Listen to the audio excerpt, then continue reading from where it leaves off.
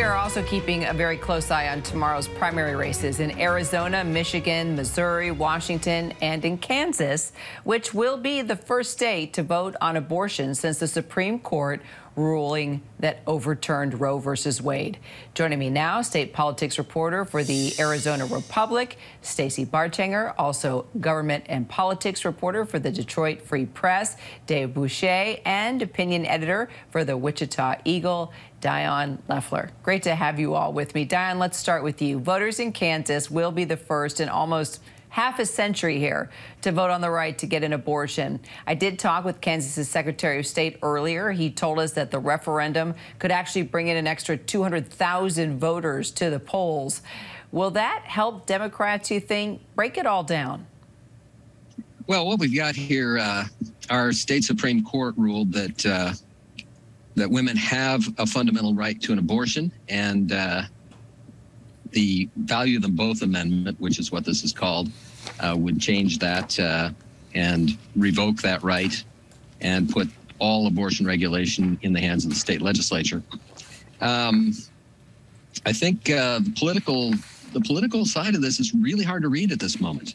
Um, in Kansas, Kansas has been uh, legislatively, at least, uh, a very anti-abortion state, but the pro-choice factions have been, you know, fairly complacent about that until Roe v. Wade uh, was struck down.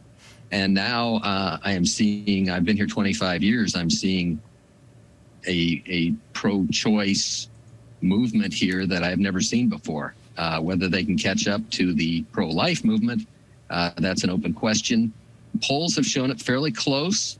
Um, so it's really going to be a turnout election. It's it's about who comes to the polls. Interesting. All right, we're going to be watching that closely, of course. Stacey, we're also following the governor's race in Arizona. It's generating, of course, lots of headlines right now, pitting endorsements from Donald Trump against Mike Pence, quite the talker. Break this race down for us and just the impact that former President Trump still has. Yeah, I mean, a week or so ago, we had former President Trump and his former Vice President Mike Pence in the state on the same day. Um, you know, if ever there was a litmus test for the former president's grip on the Republican Party, I think people are looking to Arizona as the next test to see what happens. Um, the former president has endorsed in all of our major state races, um, even down into the state Senate races. And so we are really watching to see how those candidates do at the polls tomorrow. Yeah, so are we. And Dave, you've been paying close attention to the Republican governor's race there in Michigan. What do we need to pay attention to? It's a wide open field. For governor, there are five candidates who are still in the race. President Trump issued an endorsement on Friday for a West Michigan businesswoman, Tudor Dixon. Uh, some of the other candidates in the race had asked Trump to stay out, especially since you know absentee ballots have been out for weeks.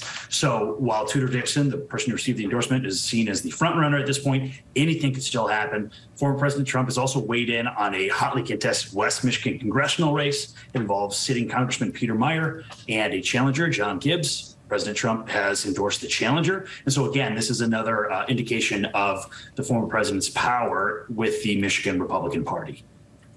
It's incredible, just state by state, that we're talking about this. And Dion, how have false election fraud claims played a role in this election, you think? Are there still groups out there peddling Trump's big lie? Um, yeah, there are. Uh, the, the, there's, there's a major uh, campaign right now trying to get rid of uh, ballot boxes, drop boxes on the sidewalks. Uh, we have about 14 of those here in uh, in the county that Wichita's in, and uh, that's been under attack. Um, this also, this election uh, may mark the uh, it may mark the comeback for Chris Kobach, who has been probably the leading spokesperson for for voter fraud anywhere in the country. Um, so it's it's you know there, has been it's almost like they're setting up uh, if they lose they're setting it up to be well we, we were cheated so it's it's going to be very interesting to see how that all goes Indeed. And Stacey, let's talk about the top issues for voters in Arizona. Then we've talked about all the infighting that's going on, but what's really driving people to the polls there? You think, as you've been out there just gumshoeing and and and interviewing uh, voters. Yeah, I mean, gas prices might be going down, but inflation is still a very real thing for Arizona voters. They want to know what their next governor and uh, lawmakers are going to do to keep prices lower. Um, certainly, as a border state, they care a lot about issues connected to the border, and education and water are two very, very important issues um, for Arizonans this cycle. All right, Dave, one more question for you. Abortion will likely be on the ballot in Michigan this November, right? After the Supreme Court decision uh, to overturn Roe versus Wade. So, what's the status of abortion rights in Michigan right now, and how big is that issue for voters there at this time?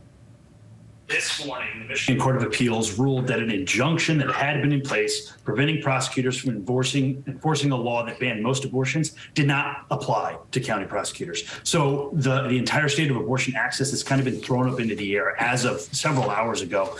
Uh, Planned Parenthood of Michigan says abortions are still legal. Other people say they are not. And so there's a there's a question later this fall about whether or not Michigan voters are going to be able to change the Constitution in Michigan to explicitly say there's a right to to abortion. It's a huge issue driving, especially Democratic turner, uh, turnout and voters this cycle. Stay tuned. Stacey Barchenger, Dave Boucher, also Dion Lefler. Appreciate all three of you. We'll be following your reporting and hopefully talk more. Thank you. Thanks. Hi, everyone. George Stephanopoulos here. Thanks for checking out the ABC News YouTube channel. If you'd like to get more videos, show highlights, and watch live event coverage, click on the right over here to subscribe to our channel. And don't forget to download the ABC News app for breaking news alerts. Thanks for watching.